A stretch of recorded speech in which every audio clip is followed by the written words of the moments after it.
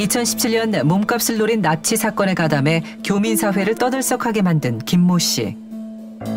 그는 이 사건의 내막을 알지 않을까. 그가 수감돼 있는 교도소를 찾아가 면회를 신청했습니다.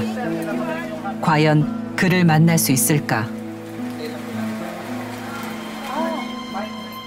그가 선뜻 모습을 드러냈습니다.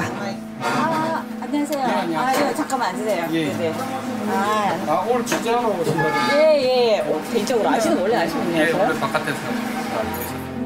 부장이 그는 필리핀 경찰 조직을 잘 안다며 자신을 헌터라고 소개합니다.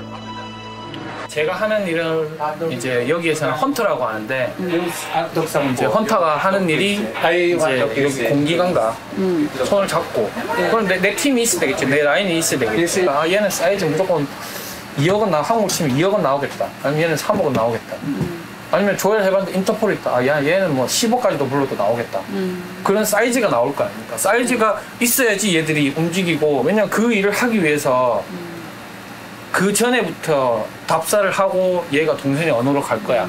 이렇게 해서 여기로 가면 여기로 갈 거야. 아니면 얘를 어디로 약점이 어디니까 어디로 데리고 가면 얘가 어디로 가. 그거는 필리핀 애가 절대 측정할 수가 없죠. 필리핀 경찰이 헌터를 통해 한국인의 정보를 수집한 뒤 돈을 뜯어냅니다. 그리고 헌터에게 수수료를 지불하는 구조. 언니 한번 주사를 놓자. 주사를 놓는다는 게 이제 뭐 죽이거나 이러는 게 아니고 한번 후다를 따보자 하면 근데 거의 다 100% 이제 불법에 관련돼 있으면은 항복하게 돼 있죠. 왜냐하면 여기선 별 사건이 아니거든요. 그냥 얼마든지 풀려날 수 있는 사건인데 근데 여기처럼 이렇게 뭐 재판에 회부되거나 구속이 돼버리면 길게는 뭐 5년, 6년, 7년도 가버리니까 돈을 줄 수밖에 없죠. 그런데 더 놀라운 이야기를 들려줍니다. 거의 다 거의 다 EKG 디렉터가 또 돈 나와요. 그 사람이 원래 납치 비즈니스 했던 사람이에요. AKG 자체가 원래 비즈니스가 second 비즈니스가 이런 이제 asset을 두고 아셋이 이제 정보원인데 정보원을 두고 AKG에서 이제 부업으로 이 나, 오히려 납치를 해가지고 이렇게 한다는 얘기신 거죠. 그렇죠. 뭐 제가 이런 말 해서 위험할 수도 있는데 전 저는 그냥 제가 느꼈고 실제로 겪었으니까 납치 전담반 AKG는 지익주 씨 사건을 수사한 곳입니다. 경진 씨는 여기를 매일같이 드나들었습니다. 다른 팀도 아닌 경찰청 납치 전담반이 납치 비즈니스를 부업 삼아 한다는 충격적인 증언. 그뿐만이 아닙니다. 밑에서 자연스럽게 내가 돈 1억을 받았을 때 위에서는 3천만 원, 30% 정도는 그냥 상납이 되는 이런 연결 고리가 있으니까 뭐 그런 그렇게 돌아가는 거죠. 그치. 작업을 이제 요청을 했을 때 최종 사인은 칩이 하지 만 칩 위에서 이제 위에 최고 이제 영장을 청구해야 되니까 도장을 다 받아야 되거든요. 100% 모른다고는 할 수 없죠. 최고 이제 관계자. 필리핀 경찰은 조직적인 상납고리를 통해 고위층의 보호 속에서 납치 사업을 운영하고 있다는 것입니다. 잠시 뒤 김 씨와 같은 교도소에 수감된 살해 용의자 산타 이사벨이 우리에게 만나자고 먼저 연락을 해왔습니다. 무슨 말을 하려는 걸까? Ang talagang gumawa ng krimen ay si Atty. Rafael Dumlao.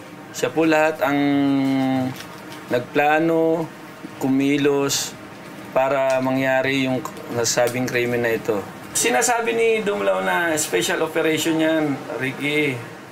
una siyang tinawagan alas 6 ng 산타 이사벨이 사건의 주모자로 지목한 사람은 그의 상관 라파엘 둠나오, 경찰청 마약 단속반 팀장입니다.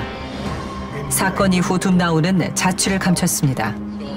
그러자 두테르테 대통령이 방송에 등장해 당장 나타나라고 윽박질렀습니다. You better surrender or clear yourself.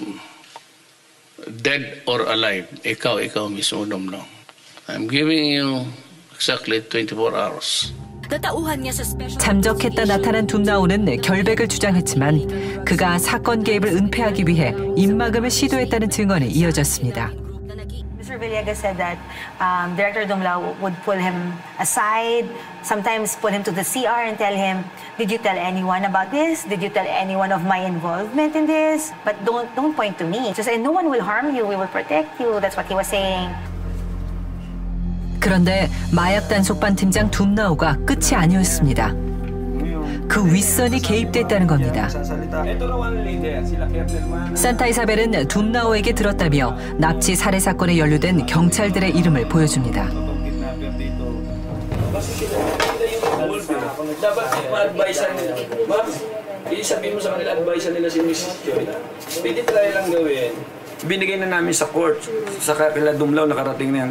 eh. Pwede na gumawa ng hakbang si Dumlaw para ipa-eliminate kami o ipapatay kami. 그는 경찰 고위층에 숨어 있는 진짜 범인들에게 살해 협박을 받고 있다며 신변 보호를 요청했습니다. 그런데 공범 빌레가스의 증언 중에서도 비슷한 내용이 있었습니다.